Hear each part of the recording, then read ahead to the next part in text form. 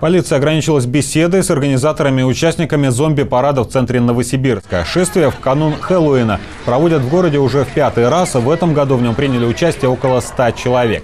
Люди в гриме прошли буквально 300 метров по Красному проспекту от крупного торгового центра до станции метро Гагаринская. Затем проехали под землей до площади Ленина. Акцию с властями не согласовывали, участники называют ее флешмобом, то есть стихийным действием, на которое разрешение не требуется.